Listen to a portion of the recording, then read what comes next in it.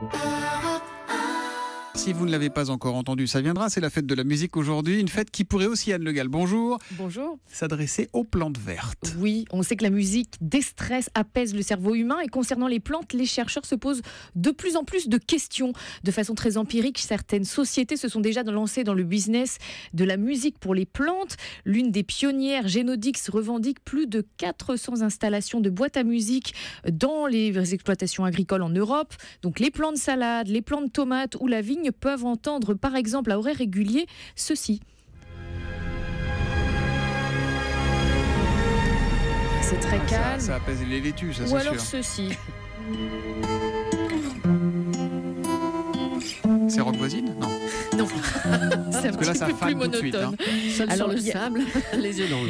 Il n'y a rien de scientifiquement publié sur l'efficacité de la méthode, mais certains agriculteurs témoignent d'une plus grande résistance de leur culture aux maladies et à certains parasites. Mais est-ce que ça marche aussi avec, euh, avec du rock ou de la pop? Alors c'est très marrant, mais il y a une plante qui s'appelle le Desmodium girans qui réagit à toutes sortes de musiques, toutes sortes de sons en général. Les scientifiques ont repéré qu'elle bougeait légèrement certaines de ses feuilles, c'est visible à l'œil nu. Elle danse quoi Elle danse, elle danse. Alors c'est très lent, mais elle danse.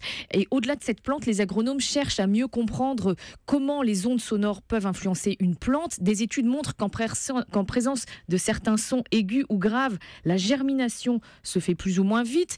On pense aussi que la musique aidera à produire des plantes plus touffues avec moins de produits chimiques. Il y a une équipe de chercheurs de l'INRA de Clermont-Ferrand qui a constaté déjà que les rosiers en serre étaient plus beaux quand on reproduisait les vibrations du vent sur leurs feuilles.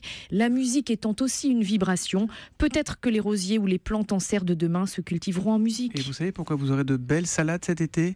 Parce qu'on leur offre ça ce matin. Seul sur le sable, les yeux falloir faire des tests, mais pourquoi pas Mon rêve était trop beau. Merci beaucoup Anne Le Gall. À demain.